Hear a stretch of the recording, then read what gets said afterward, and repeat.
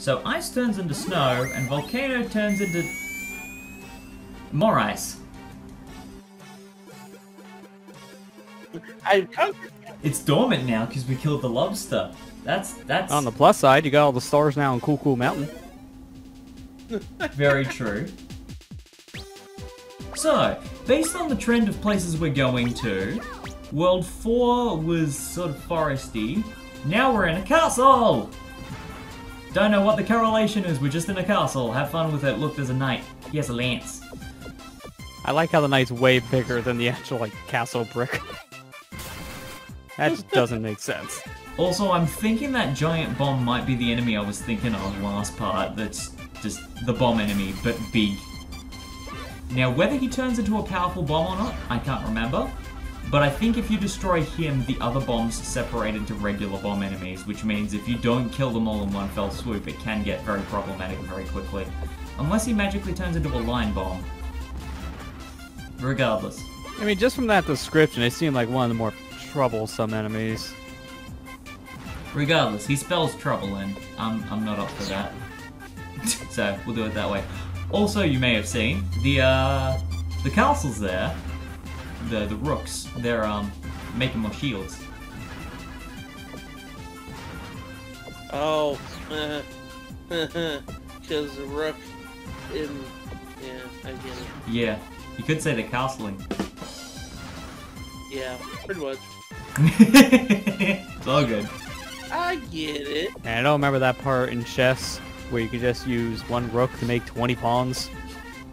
That's, that's totally in the rulebook. Yeah.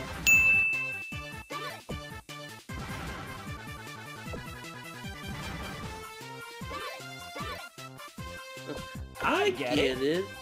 I don't get it. What it was. I remember in high school, a lot of people used to be salty when it came to playing chess, if they played chess, because like, oh, I want to use advanced moves. I'm like, what advanced moves in particular? They just pull a book out of the library and be like, this is advanced move. And then they'd never adhere to the rules of the move. They literally showed me a book on what they were doing. What advanced movement is there in chess? Your all the pieces do the same. But They're, they're set. So the advanced move is what's known as pawn en passant capture, where if the pawn is in the fifth row and a piece is directly next to it, it can capture it by moving diagonally behind it. But it has to be in the fifth row only. Yeah, there's like a lot of weird rules like that with special moves in chess, which is mm. why if you watch like competitive chess, is is why it's it always takes forever because there's so many things you gotta think about. There's competitive chess. on Oh yeah, it's always been competitive chess. Well, I know that, but I mean, like on like uh, television and stuff. Yeah, go Uh, to Twitch, type in chess. There's gonna be a lot of big games. Natural competition. I'm just picturing chess with like um with snooker commentary.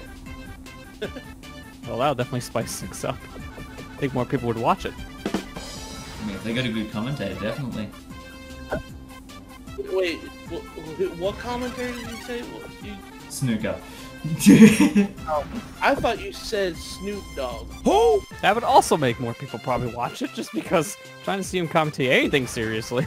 I mean, I mean, if, if, if Snoop Dogg can be in a Spyro the Dragon ad and also a Menulog ad, I'm pretty sure he can make anything interesting. I remember like he tried streaming for a while on Twitch, and people were just memeing it up for that because it was just so out there. Like his commentary is just so so weird. I I remember when he was uh he played Moses on Epic Rap Battles of History. B to the O to the M O S E. That's just insane. Oh my god. That reminds me of this one picture that Amber posted on my um, Facebook one time. It was, a, I guess it was a thing where he was talking to a kid. He says, "What you what you reading?" The kid's like Charlotte's Web. And he says, "Oh, that book with Wilbur. That pig was dope."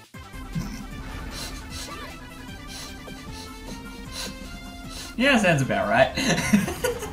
I was like, you know, that was really surprisingly wholesome. I mean, wholesome in the loosest sense of the word. What are you talking about? Like Charlotte's Web is... No, no, I'm not gonna go.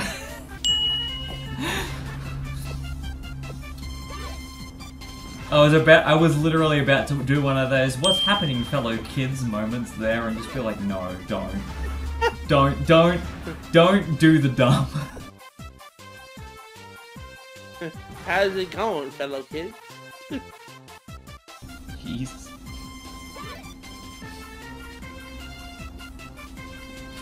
I don't, I don't, I don't need to intentionally do a meme that ages itself incredibly easily just for the sake of a, a bad joke. No, don't worry, Matt does that every video. I do it all the time. I follow an account on Twitter, ancient memes. So, Oh. um, Wait, how are you doing that? You can't follow yourself on Twitter. Oh, what a vicious Lester, cycle. I, I, I'm go- whenever whenever I meet you in real life, I'm going to slump you. At least he's honest about it. And yes, that is a threat. Oh, these knights and the blocking of the bombs. I hate it so much. And it's like when you throw a bomb on their head, they just spin in a circle. Yeah. And the annoying thing is, if their shield blocks an explosion, What would you do if a bomb was thrown on your head? it not only puts their shield forward, but then they dash at you? Yeah. It's a pain in the butt, and the hitbox is very misleading, because, yeah, the lance actually goes through solid objects, it just doesn't physically hurt you.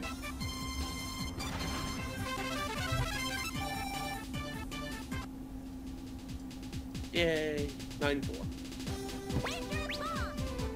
We're getting there. We're really getting there. Climbing up this castle to then leave the castle and go further up the mountain. You know, as you do. Oh. at this moment he knew. He fricked up. Why'd you drop another bomb, Bomber Man? You could have held it in.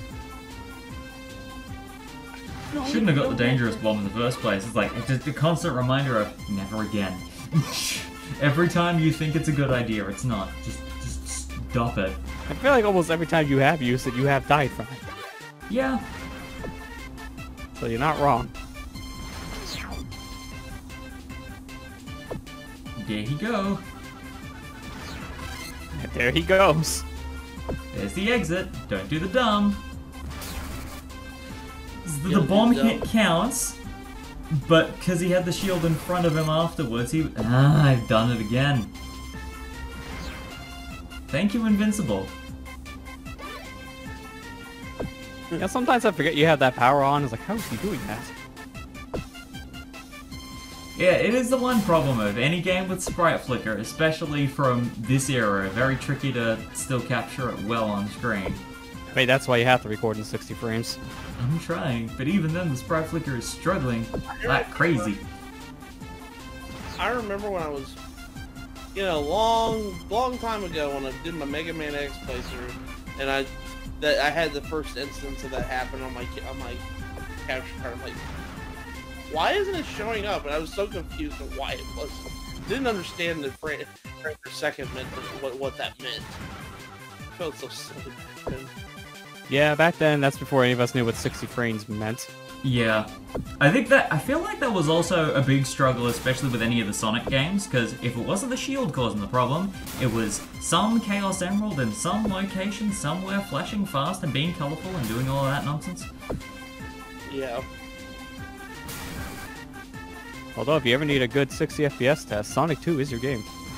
Actually, I even say Sonic CD. Sonic CD is incredibly good for it because since Yeah, but Sonic 2 is on everything. I so is Sonic CD as well. I, actually, is CD Not on the Switch.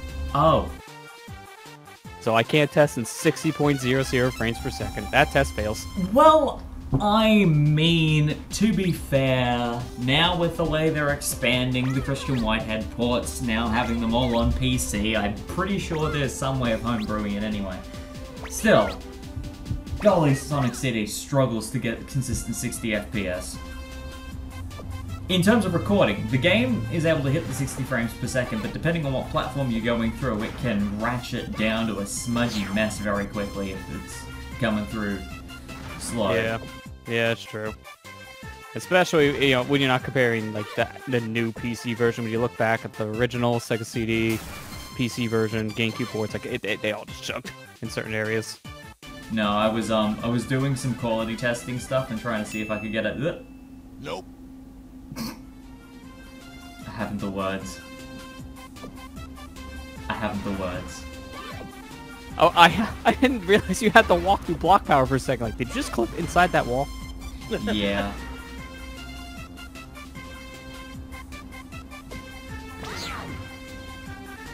Sometimes you have to lay down the law or abuse the law of physics. One or t'other. Either or. What am I doing? Making a mess of things. I just have fun. I like how he's the one's trying to defend his friend but failing horribly because he still died. Questionable camaraderie. You see, the shield protects one of you, not two of you. See, this is why when you're ever playing games with parties balanced between different classes, you never have two tanks. Because if everyone's defending, nothing gets done. This is why someone has to pick healer. This is why one of you needs to be support and the other one needs to be the tank. Because if you're both playing support, you'll both do a ton of damage and just die a lot. Or, if you're both playing tank, you'll all defend and do no damage. Oh, golly. Yeah, we're out here playing Bastion. No, no one's playing Mercy. Come on, need the healer. I'm glad I had the foresight this time to actually use the bottom screen to think the good. And that was a good shot. Yeah, I feel like that gets even worse if you're playing on like a 3DS or something because you super tunnel vision the bottom screen because like almost no 3DS game utilized it like a DS game did. So if you play a game like that, I swear you're gonna just forget what's on your bottom screen. I've done that in a couple games. And when they do utilize it, they tend to more so go the Pokemon direction. So it's half of the time it's doing nothing, and then the rest of the time it's just basically here's the interface that you can scroll through with the buttons anyway. Yeah, and then some games that literally don't try because I've actually played some games that just make the bottom screen black. Like, well, we don't know what to put down there, so we'll put nothing. Literally an interface. It's like any game that puts a map on the bottom screen, love it. That's why every time they've remade a Battle Network game with that function, I've just been like, thank you. This is this is so good. Especially when they remade Battle Network 1 in Japan. It's like the one thing this game needed was a map feature. thank you so much. Maps are nice to have. I don't care what anybody says. man. Yeah, absolutely. I mean, it's better than having nothing. Yeah. I still remember, I got my Wii U. One of the games that came with it, Donkey Kong Country Tropical Freeze. Like, oh, cool. I get to see what cool, unique innovations this gamepad has. What's that? The other screen does nothing. Okay. Didn't at least Donkey Kong Country Returns have a map on the bottom uh, on the tablet, and then also for the 3DS version? Well, when you played the 3DS version, yeah, they utilized the bottom screen for some extra stuff. I mean, come on. You would think they would think of that for both. Yeah, Retro just didn't like, eh, nah. Let's, let's, let's just... You pick one screen to play on, the other screen gets nothing. Literally nothing. And my immediate thought is, I mean, if Hyrule Warriors can get it right, if Splatoon can get it right, Yeah. I like the. I like. result that Splatoon did at least. Because at least it tried. Yeah. yeah. Yeah, because certain specials use the bottom screen. And I mean, yeah, now with um, Splatoon 2, a lot of it's been relegated to a trigger button, but still, the convenience of it was really well done, I think. I remember when Splatoon 2 first came out, a lot of Splatoon 1 veterans just didn't use the map because they were not used to it being on a button. Mm. I think the, the thing that amazes me still is I could never adjust to gyro aiming with Splatoon 1. So I just didn't even try with Splatoon 2. I'm just like, nah. I, I think the biggest problem with the Splatoon 1 gyro was just the gamepad itself, because the thing was way too big for motion control. Hmm. Because I pretty much did that with Splatoon 1 as well. Could not play with motion on that because the gamepad was way too big. And especially because whenever I play stuff, I usually play on my desk on a computer monitor. So if you whip a gamepad in the wrong direction, you're whacking wood. Oh. Not nearly as hard to do that with a Pro controller. The thing's a much smaller profile, way easier to shake around without hitting something. Hmm. More comfortable in the hands. You'd hope so, yeah. Also, it had a battery better than a potato, so there's that too. Didn't have to play with That- it wired. True. Potato battery, not the way to go. Please, please, please. Yes. Still got the shield. Awesome. And then I just got those four. Nice and clean. Going pretty well so far. Which, you know, for being a little past the halfway point of this world is good. I've scored over two million.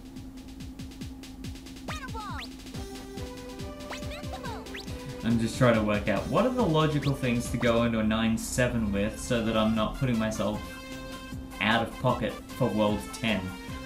Like, it's it's the thing that every one of these worlds I'm consciously just going, on the off chance that they're generous with the power-ups I don't need, how am I going to make this work? It's also not helping that, well, two factor. One, that knight in the top blocks your your timer. Thanks, buddy. Can you move more like to the right? That'd be nice. No. The, the real problem is actually the knights. They take so many hits here. They're just draining your timer. Yeah. You have to just kind of decide, do I want to use remote bombs or like danger sense bombs or something to speed this up, or do I save them for later? They're kind of a, a trade-off enemy from what I'm seeing. Yeah, absolutely. And it's it's the tricky thing of at this point, time is of the essence. Which we still don't know, buddy. Get... Hey, down in front! Thanks, now I can see what I'm doing. Oi, some of us are trying to watch the show.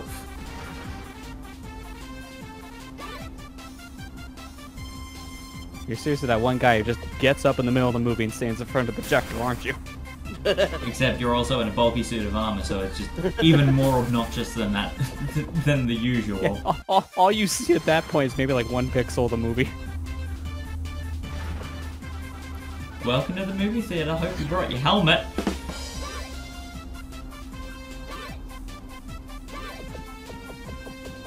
Never a sentence I thought I'd ever say, but there you go.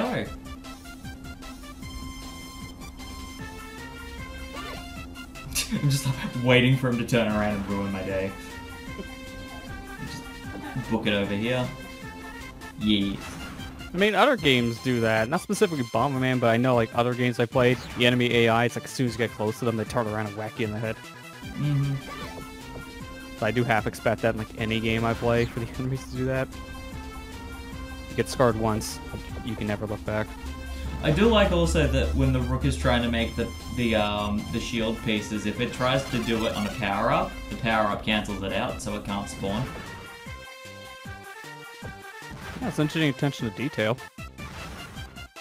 It also kind of helps that when they are making a new wall, they stop for a split second, so it makes it a little bit easier to line them up for a bomb. Yes, very true. So you can kind of see exactly what the AI is doing, which, as opposed to a lot of the enemies that just decide to stop on a dime and turn around immediately, it's good.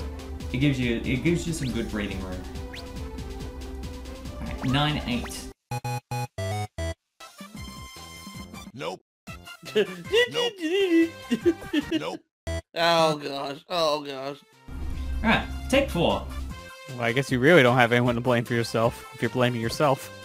Yeah. Accountability. It's the best policy. This is this this, this is just this is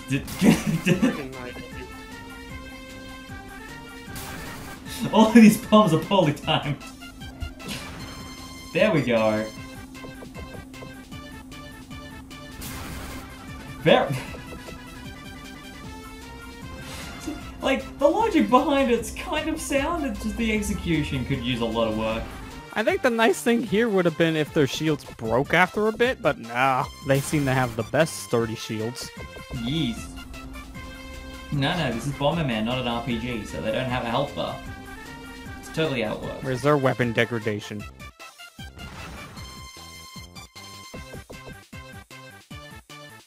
Also, why do they have candy canes for their staffs? No, no. The barber's pole. Because, um, They administer very efficient haircuts. I'm sure we can go with that. New headcanon. The Knights of the Bomberman world are the most efficient hairdressers. I see what you did there. Headcanon. Ha.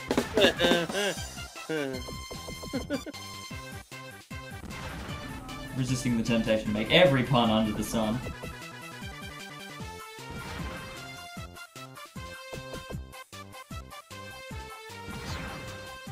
Finally. Ah, and of course, Unite Von stuck in the middle of everything. if Bombman's just dealing with everything on the left. Feels accomplished. They're all dead. Oh yeah, that's right. There's a right side. I've got cl- I've got cleaning to do over here. That's like when you're cleaning your house and you feel so good you just clean the one room of yours. Like, oh, good. Oh, crap. There's like five more rooms to go through. that that does bring an interesting thought to mind. If you're cleaning a castle, is it still housekeeping? I mean, it's a very long and tedious house cleaning job. I've had to use two clocks on this level. What is going on here? It's like it's too big or something. Oh, well, you better walk. Whew, I really want to just make my life tense and anxious, don't I? You know what else I need besides a shield? A butt shield. Because this is right on my butt. I need the back shield from Smash. This this is the true reason why Bomberman wanted to be in Smash Brothers. He needed the back shield. No, that, the back shield wouldn't even save him in that situation. Also, gotta love because of the size of the knight, you can't even tell where the destroyable blocks are around him other than the one on the right hand side. Everything else is just vague. Yeah, seriously, why is he so big? He blocks so much. And it doesn't help he levitates too, so bombs go through him. So this is the power on the floor, you destroy the power along with the guy.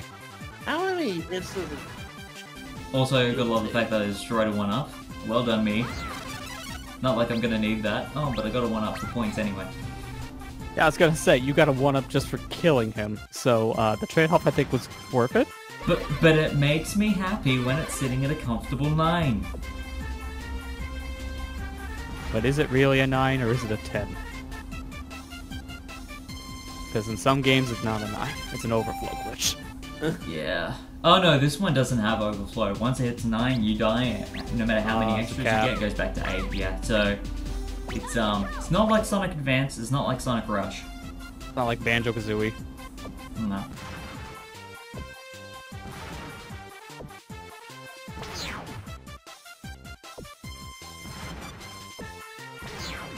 Oh my gosh. Release the centipede. This is just, this is complete and total nonsense. Get over here. Get over here. Thank you.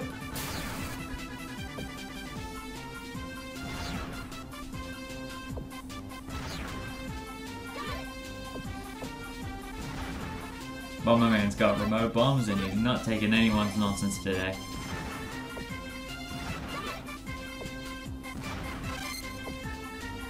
Of course you...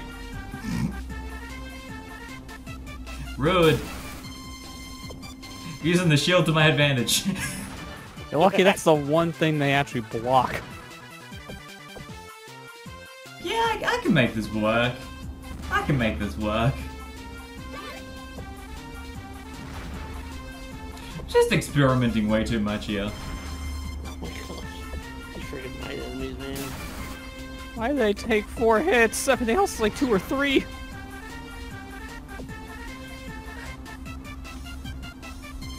Some of my timing on what I'm doing here is very unusual. I can sort of see where my brain was going with it, but at the same time I'm like, you could have made this a lot more efficient, mate. I say that in all my playthroughs, really.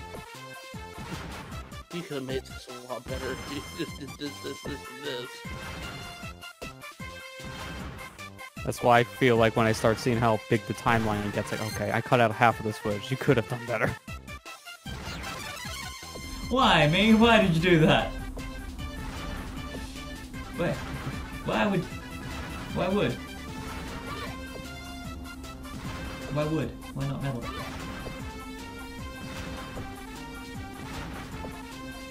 There's gonna be a lot of slow claps in this playthrough. I just know it.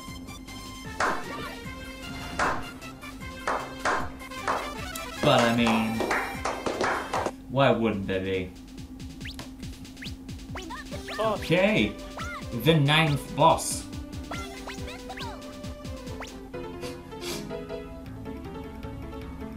So remember the Dracula boss? oh gosh. He's back! Yeah. Um. Uh, this is this is. I don't even know what the mentality is behind this. Is it Dracula's wife? Is it Dracula's daughter? Regardless, let's just have that boss again, but with double the health. Because that's fun. Yeah, because that's a lot of fun. Just making it sponge. I was just the mentality of no, just just no. Get out of here, you witch. This level goes on for too long. I think that's a common theme of World 9. Welcome to our castle. You'll overstay your welcome. Welcome to the castle. There's more?